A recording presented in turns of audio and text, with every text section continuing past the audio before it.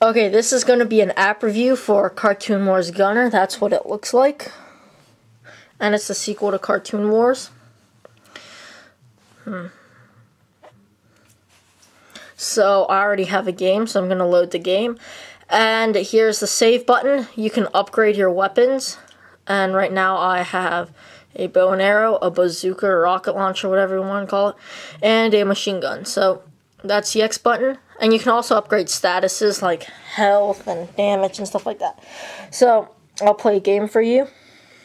And there I am. And there's a bunch of like little guys and you have to like kill them and stuff. I'm already on level like 27. And level 1's much easier than that. That and as you can see I'm not very good at it because I just got it yesterday really. And I'm playing through the LCD screen so that's why.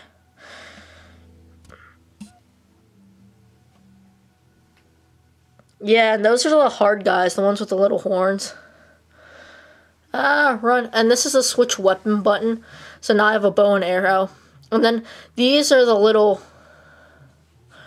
like, add-ons. See that button right there? And once it's uh, colored, see right now, and I can drop missiles everywhere. It's like a special ability, sort of.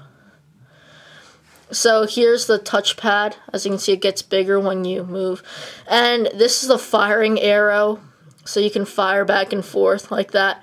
And up here is your health bar and your manga. And I just died. But that's if you get a certain level on the blue bar or your manga or whatever, you can use your special ability. And there's your score and your cash. So if I have 7,000, I can like upgrade this because it's only 1,000 or 1,800.